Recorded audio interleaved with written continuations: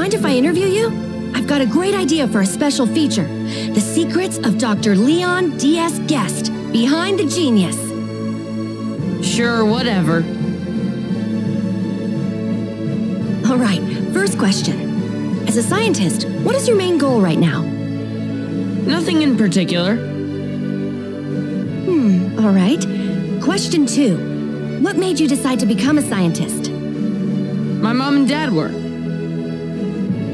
It wasn't originally your idea? Not really. My parents were scientists, so it was a pretty easy decision.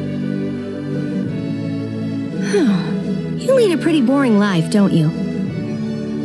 I think it's just that you're asking me boring questions, lady. Why don't you ask me about something more interesting, like some technical stuff instead?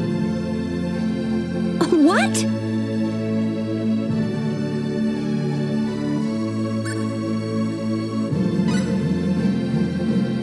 Now, now, calm down, you two. How about I stand in for you, Leon?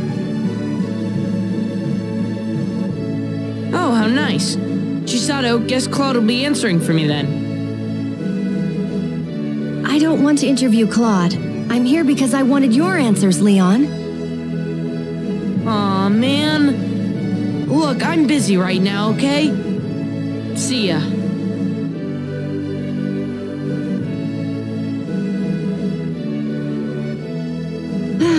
You didn't have to butt in there, Claude.